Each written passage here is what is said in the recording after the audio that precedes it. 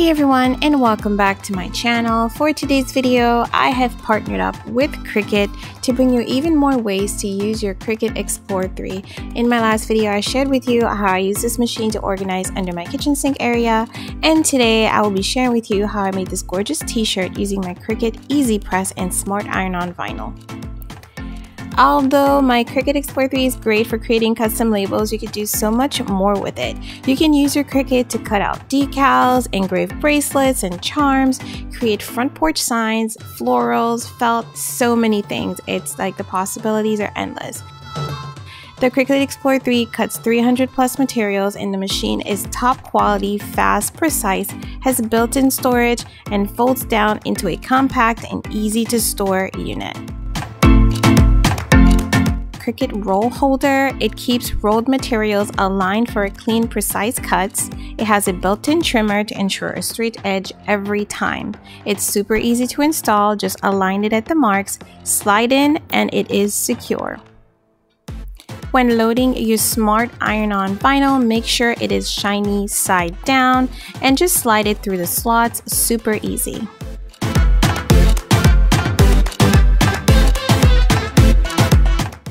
To get started, I will first be creating my design in Cricut Design Space.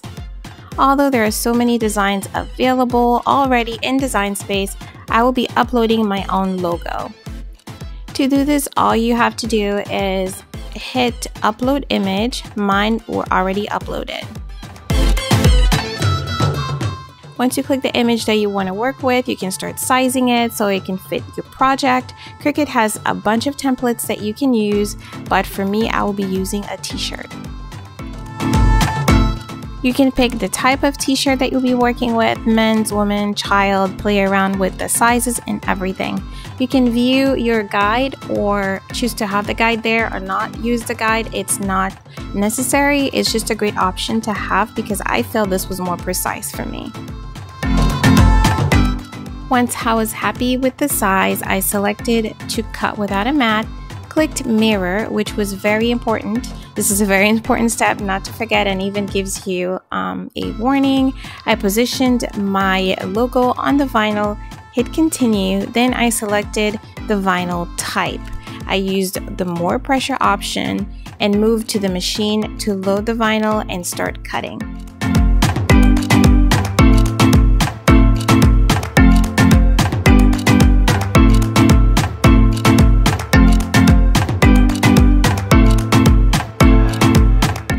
I set up my working area, which was on a flat surface with my Easy Press handy and also with the provided mat. The Easy Press machine actually works independently from, from your Cricut, meaning you can simply plug it in, let it heat up, and press your fabric when you're ready. If you're not sure what heat settings to use or what materials, you can go to Cricut.com's Help Center and you will have all the instructions available for all the different heat machines that they have, including the Easy Press 2.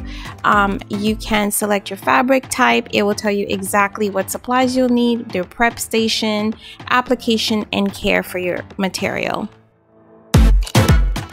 For my case, according to the instruction, I needed to preset my heat to 330 degrees Fahrenheit and I would be pressing it for 30 seconds. It's super easy to set up. You just press the um, option that you want to change and then use the plus and minus to adjust it to the desired temperature or desired time.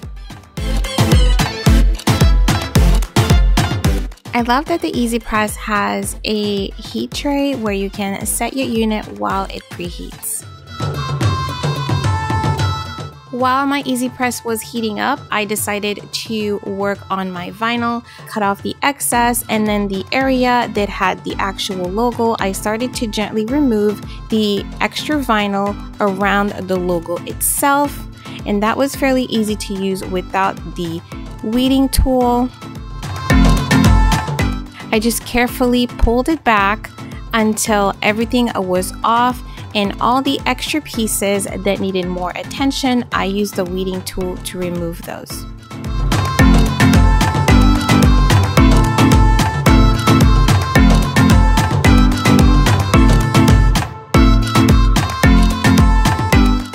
Once my vinyl was ready, I just set up the t-shirt and set it down. It is recommended that you preheat your t-shirt to remove any moisture or any wrinkles so that you have the best application. And taking my vinyl, I went ahead and centered it onto the t-shirt, pressed it down, and then used the easy press machine to secure my vinyl onto the shirt. According to my instructions, I am to press this for just about 30 seconds on the first um, layer, which is a direct layer. I made sure I was reading that, so I did this correctly. I did press it for a little bit longer than 30 seconds.